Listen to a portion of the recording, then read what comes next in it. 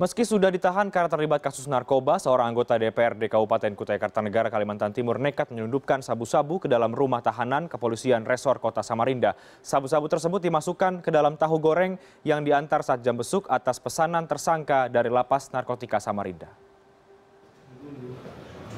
Anggota DPRD berinisial RS ini kembali berurusan dengan hukum RS tahanan Polresta Samarinda diperiksa petugas Satuan Reserse Narkoba karena diduga tersangkut kasus penyelundupan sabu-sabu ke dalam tahanan.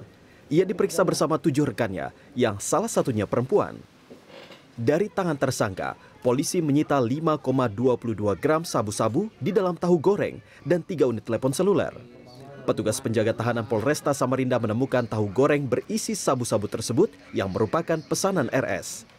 Saat dilakukan penyelidikan, ternyata narkoba itu dipesan dari narapidana lapas narkoba Samarinda. Namun RS sempat membantah tuduhan memesan sabu-sabu. Ia menyebut hanya diminta mentransfer uang oleh rekannya sesama tahanan dan tidak mengetahui untuk dibelikan sabu-sabu. Uh, jadi gini, saya semester ini, ya kalau sedikit-sedikit boleh. Kalau merekeningkan ini, persebaikan ini, 5 juta 400 ini nomor rekening, bayar 5 juta 400 udah. Langsung dibayar cash di dalam. Langsung bayar cash.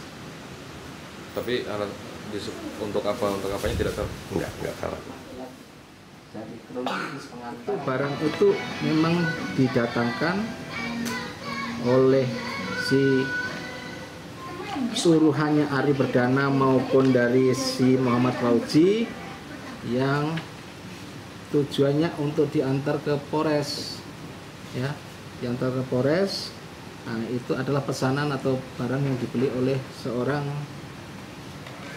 uh, tahanan juga atas nama Robert. Sebelumnya, pada 19 September lalu, RS diringkus sedang menggunakan sabu-sabu bersama rekannya AK di sebuah tempat karaoke di Kecamatan Samarinda Ilir. Dari tangan pelaku, polisi menyita 1,90 gram sabu-sabu yang dilengkapi alat isap. David Andriawan, Samarinda.